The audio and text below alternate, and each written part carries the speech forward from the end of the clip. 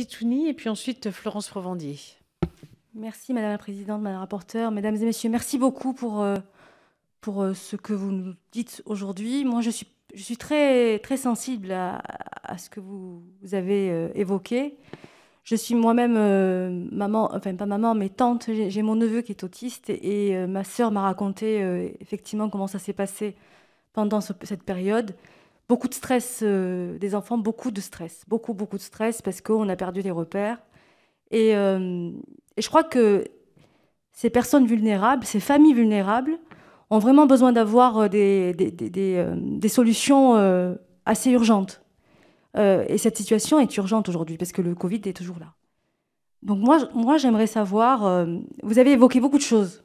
Vous avez donné beaucoup d'idées à trois, vous avez beaucoup donné des idées tous les trois, vous avez chacun apporté quelque chose. Est-ce qu'on n'a pas intérêt à se regrouper avec tous les élus, avec faire une espèce de, euh, collectif, pas, de collectif, mais une campagne, euh, une, grande, une grande campagne justement sur la manière de travailler sur le sujet, euh, qui, puisse, euh, prendre plusieurs, plusieurs, euh, plusieurs, mois éventuellement, je ne sais pas, mais les ASH ne sont pas assez formés, vous dites. Euh, y a des structures de répit qui, pourraient être expérimentées partout, en réalité, parce que c'est ce qu'ils disent. Ma soeur me dit qu'elle était épuisée, épuisée par les démarches administratives, mais aussi par, euh, le fait de, pouvoir s'occuper de son gamin euh, toute la journée alors qu'elle travaille à côté.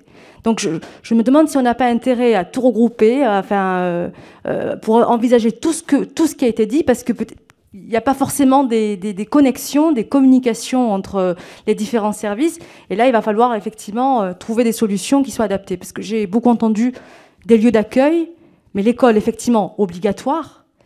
Mais que faisons-nous d'après? C'est vrai que c'est la question qui se pose. Merci beaucoup.